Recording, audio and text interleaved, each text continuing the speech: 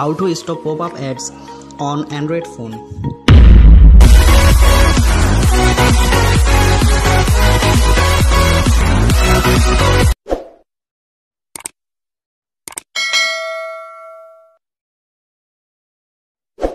Hi guys welcome back I hope everyone is fine so guys আজকের ভিডিওটি আপনাদের জন্য খুবই গুরুত্বপূর্ণ একটি ভিডিও আজকের ভিডিওর টপিক টাইটেল বা থাম্বেল দেখে বুঝতে পেরেছেন।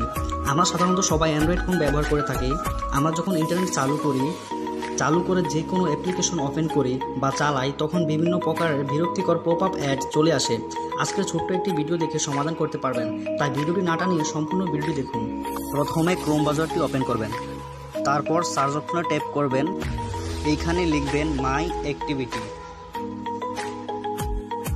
মাই অ্যাক্টিভিটি লিখে সার্চ করবেন।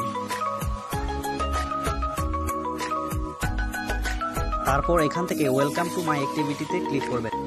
এইখানে ক্লিক করার পর এরকম একটি এন্টারপেজ চলে আসবে। এবার এখান থেকে ওয়েব অ্যান্ড অ্যাপ অ্যাক্টিভিটিতে ক্লিক করবেন। এইখানে ক্লিক করার পর আবার অন্য আরেকটি ইন্টারপেজ চলে আসবে। এখান থেকে সিওল অ্যাক্টিভিটি কন্ট্রোলসে ক্লিক করবেন। তারপর স্ক্রল ডাউন করে নিচের দিকে যাবেন।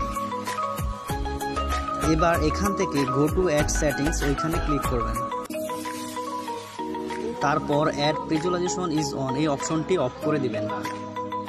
এই অপশনটি অফ করার পর আপনারা আপনাদের ক্রোম ব্রাউজারের হোম পেজে চলে যাবেন।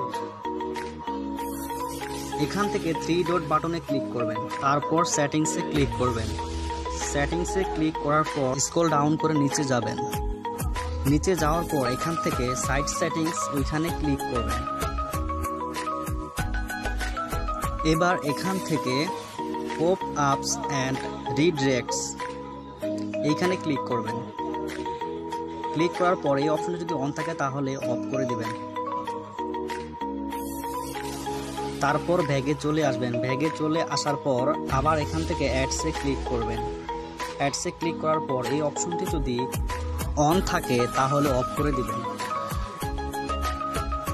এইভাবে আপনারা যদি দুইটি সেটিংস করতে পারেন, তাহলে অবশ্যই আপনাদের মোবাইল ফোনে আর কখনো বিরক্তিকর অ্যাডস আসবে না।